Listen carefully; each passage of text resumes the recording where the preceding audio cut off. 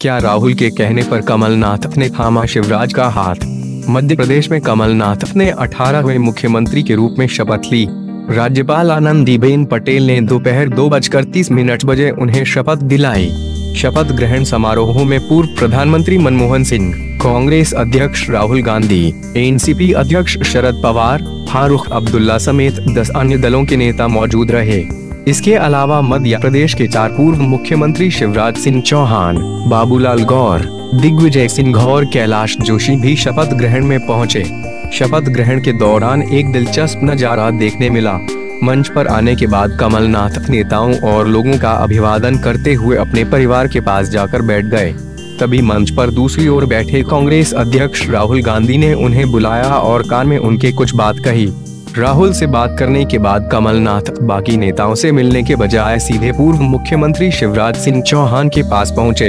इस बीच ज्योतिरादित्य सिंधिया भी वहाँ आ गए और दोनों ने शिवराज का हाथ थामा और लोगों का अभिवादन किया।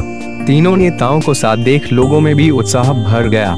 कमलनाथ के शपथ ग्रहण में कांग्रेस के दिग्गज नेताओं के अलावा बाकी दलों के नेता भी मौजूद रहे।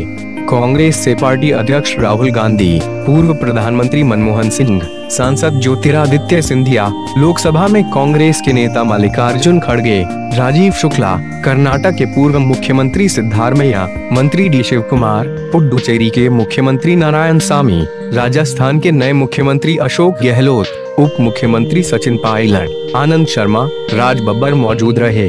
इसके अलावा हरियाणा के पूर्व मुख्यमंत्री भूपेंद्र हुड्डा, उनके बेटे और सांसद दीपेंद्र हुड्डा, पूर्व मुख्यमंत्री दिग्विजय सिंह, पूर्व नेता प्रतिपक्ष अजय सिंह, पूर्व प्रदेश कांग्रेस अध्यक्ष अरुण यादव, कांतिलाल भूरिया, पंजाब में मंत्री नवजोत सिंह सिद्धू, विवेक तनखा मौजूद थे।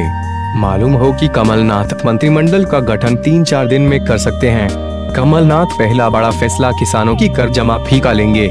इसके बाद राज्य में बेरोजगारी भत्ता दिए जाने पर अफसरों से चर्चा करेंगे।